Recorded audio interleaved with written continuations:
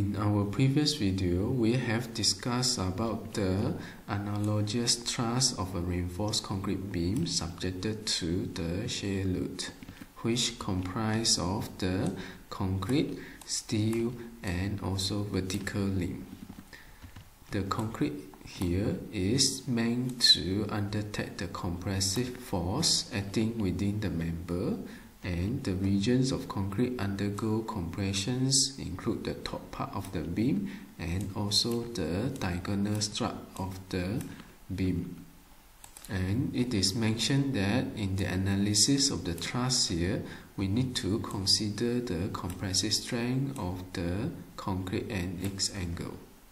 As there is a limit to the compressive strength of the concrete, it is essential to ensure the concrete is to be designed not reaching the crushing strength.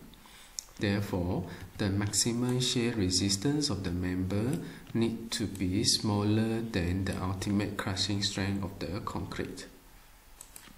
The ultimate crushing strength of the concrete is represented by the symbol FCU which is calculated by multiplying the ultimate concrete stress with the effective cross-sectional area of the strut.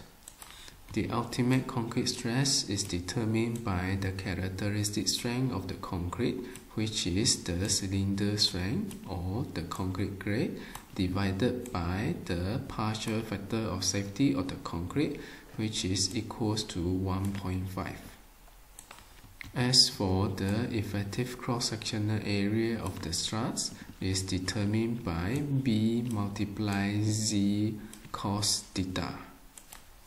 The theta here represent the angle of the strut and Z cos theta is actually referring to this width Z cos theta.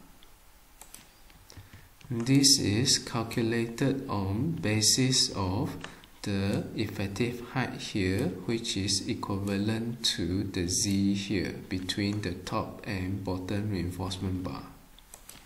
Assuming the Z here is equals to 0.9D, this height here will be equals to 0.9D. The angle here is theta which will give you the same angle here. To determine this distance, it is by multiplying the z with the cos theta. Therefore, technically, the effective cross-sectional area is referring to the diagonal concrete member here. Based on the principles of trigonometry, the ultimate force in the strut here can be represented in the functions of the shear load divided by sine theta.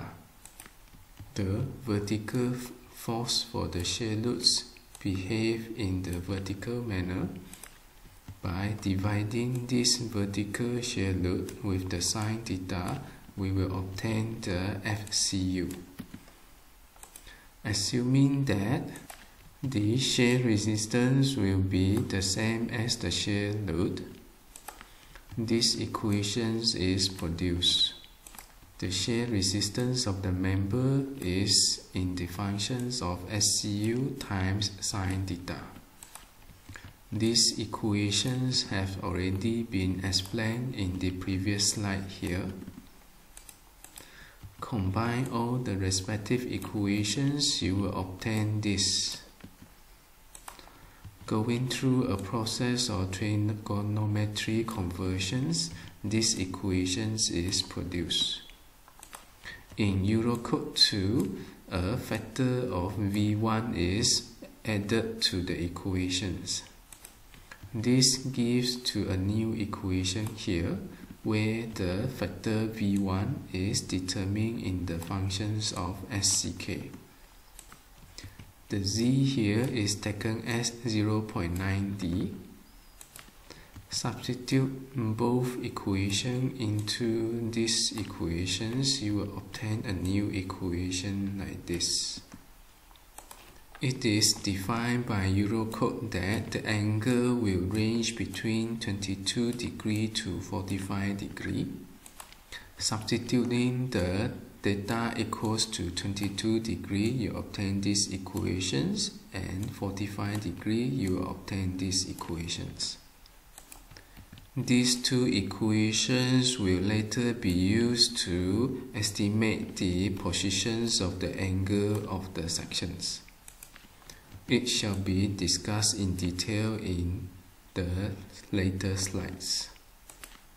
And from the equation here, going through a process of trigonometry conversions, the equations can be rearranged in the functions of the VED to determine the exact angles of the shear members. These equations will help us to determine the angle of the shear in the member. There are three equations that you need to memorize. The first one is this, the second one is this, and the third one is this. The applications of these equations will be discussed in the following videos.